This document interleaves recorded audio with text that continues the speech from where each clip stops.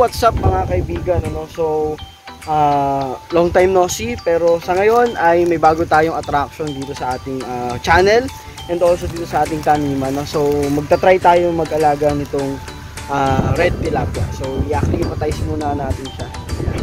So, dito ko lang siya ilalagay. Ayan. So, ito, ito yung pinakang tank nila.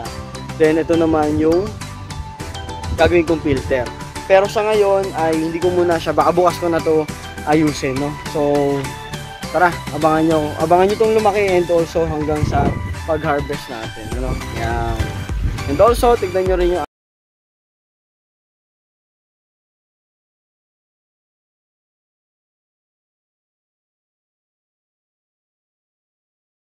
yung mga, oh, kamusta na kayo dyan? Yan yung ating mga alaga dito. Ayan. So, mamaya papakulan natin to dyan. Then bukas gagawin na natin to. Sana hindi sila mawala sa mundo no agad mamatay. So sige, alam muna and update ko kayo pag nagawa ko na to. Gago ito yung gagawin nating biofilter nila. No? So sige, paalam.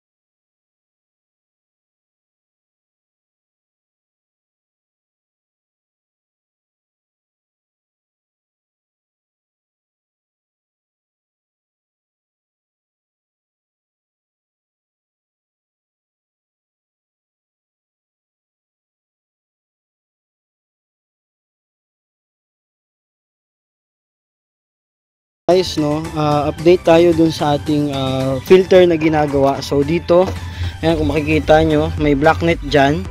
Then isa pang net sa kulambo naman. Pero dun sa ilalim ay yung ah, pantakip ng pagkain. Ayan.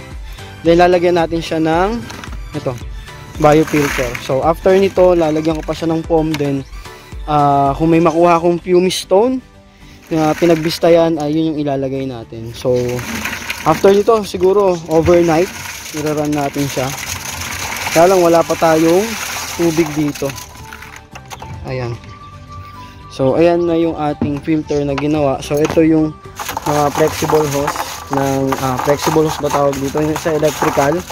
So, gagawin natin siya as house of ah, beneficial bacteria. Ayan. So, sila yung kakain ng ng ah, tawag dun ng mga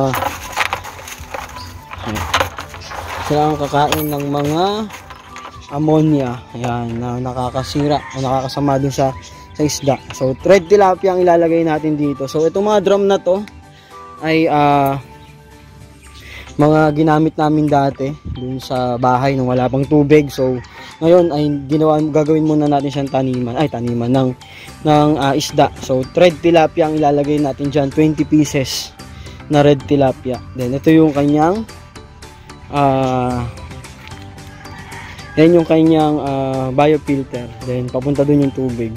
And if may time tayo, tignan natin kung malalagyan natin dito ng konting lettuce, no?